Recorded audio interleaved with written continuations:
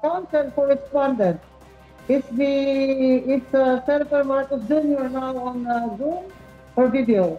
Um, Your Honor, I personally haven't received any information that he is present already via Zoom.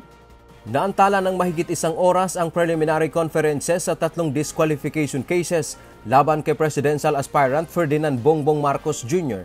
noong nakaraang biyernes, January 7. Hinihintay pa kasi ang medical certificate ni Marcos matapos na hindi makadalo sa precon. Sa paliwanag ng kanyang abogado na si Attorney Hannah Barcena, may sakit ang dating mambabatas.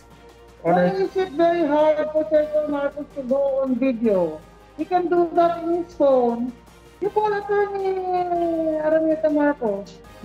Subalit batay sa lumabas na balita noong nakaraang January 6, ay nagpaunlak pa ito ng dalawang interview sa media. Sa pahayag ng tagapagsalita ni BBM na si Attorney Vic Rodriguez, sinabi nitong hindi nakadalo si Marcos ng preliminary conferences dahil lumala ang kondisyon nito.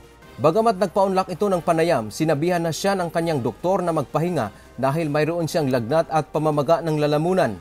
Kaya kinabukasan January 7 sa araw mismo ng precon ng kanyang mga kaso sa COMELEC First Division ay hindi na ito nakadalo kahit sa pamamagitan man lamang ng video conference. Pinayuhan anya siyang magpatuloy na magpahinga pagkatapos na uminom ng gamot. Kinwestiyon naman ni COMELEC First Division Presiding Commissioner Rowena Guanzon ang hindi pagsusumite ng medical certificate ng abogado ni BBM noong January 6 kung totoong may sakit ito. Kaya ipag-utos umano nito sa doktor ni Marcos at kay Attorney Rodriguez na magpaliwanag o magsumite ng notarized na medical certificate. Samantala, hiniling naman ng akbayan na isa sa mga naghain ng disqualification cases kay BBM na ipakontempt ito dahil umano sa pagsisinungaling kaugnay sa hindi pagdalo sa preliminary conference ng kanyang disqualification cases.